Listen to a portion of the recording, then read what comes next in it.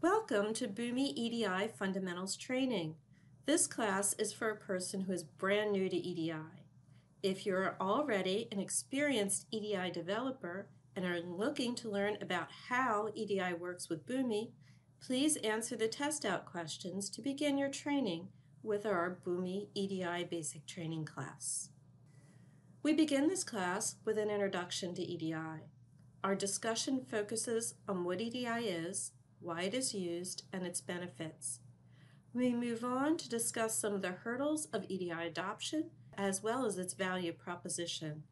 We wrap up this section discussing the EDI business processes and learning EDI terminology. Our next section, Getting Started EDI Basics, defines Boomi's definition of EDI and defines the EDI standards and trading partners.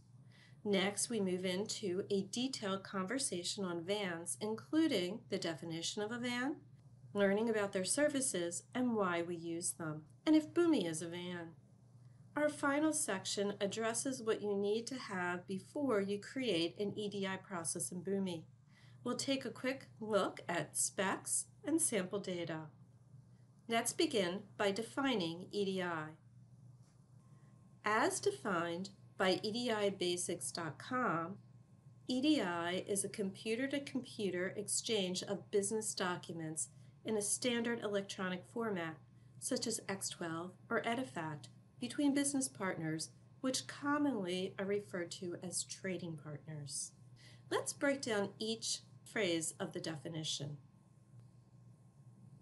EDI replaces snail mail, fax, and email. While EDI is electronic, the exchange documents are handled by people, which slows the document processing and introduces errors. EDI documents flow straight through to the receiver's computer and begin processing immediately.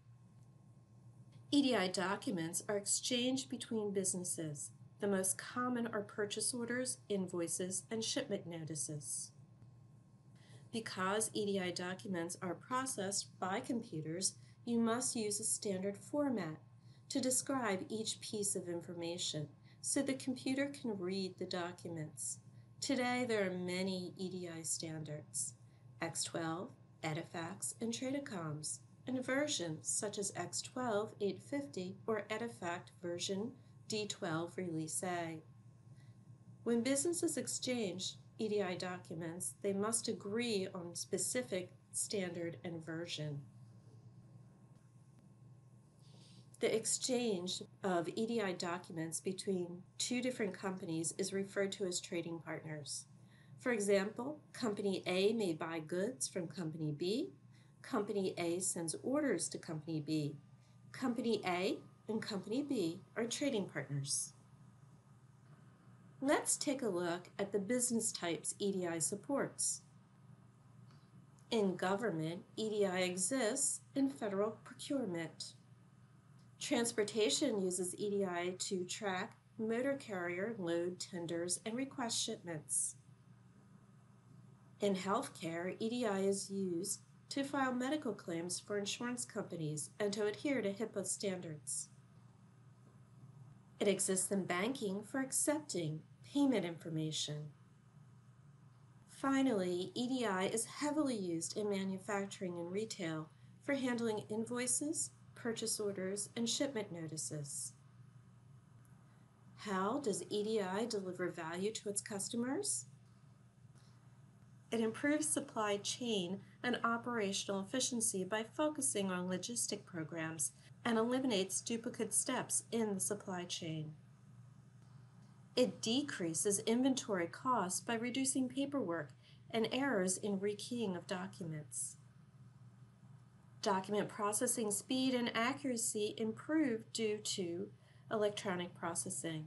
It greatly reduces, if not eliminates, time delays connected with manual processing, which requires a person to enter, file, and compare data. It allows you to keep full visibility of your data. All of this provides you with a comprehensive advantage and allows you to make better decisions and increase customer satisfaction.